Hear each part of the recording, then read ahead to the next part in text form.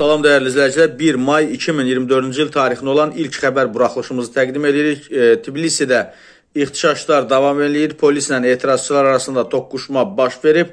Məlumata görə polis nümayişçilərə qarşı biber qazından istifadə edib və polis və çevik qüvvələr etirazçıları parlament binasının arxasından uzaqlaşdırmağa çalışıblar və bu ixtişaşlarla e, deməli ixtişaşlara səbəb olub, həmçinin etirazçılara qarşı su şırnaqlarından da istifadə edib e, polis və onlar tədricən dağılışıblar. Digər bir məlumat isə Rusiya ilə bağlıdır. Rusiyada e, deməli şəhərdə şəhərlərdən birində güclü yanğın baş verib. Buryatiyanın paytaxtı Ulan Ade şəhərinin hakimiyyəti müxtəlif ərazilərdə baş verən yanğınla əlaqədar şəhər sakinlərinin kütləvi təxliyəsinə başlayıb və bu barədə şəhərin meri e, Igor Şutenkov e, sosial şəbəkələrdə məlumat verib. İlkin məlumatlara görə şəhərdə yanğınlar quru ot səbəbindən başlayıb və küləkli quru hava səbəbindən çox sürətlə yayılır.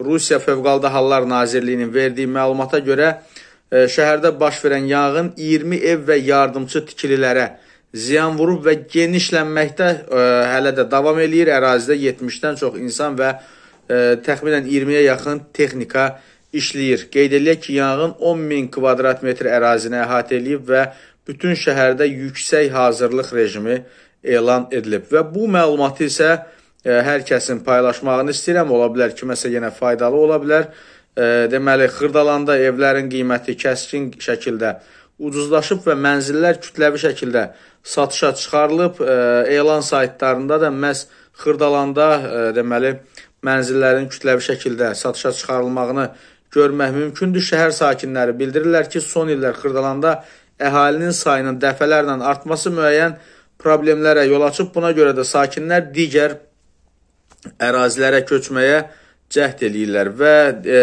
deməli əmlak məsələləri üzrə e, ekspert Elnur Fərzəliyev son vaxtlar Xırdalanda satışa çıxarılan evlərin artmasını bir neçə amillə əlaqələndirib və qeyd edib ki, əmlak bazarında əsasən fərdi yaşayış evlərinin satışı üstünlüyü təşkil edir, yəni həyət evlərinin. Buna təsir edən əsas səbəblərdən biri də vətəndaşların mənzillərə çıxarış əldə edə bilməməsidir, yəni bina evlərinə.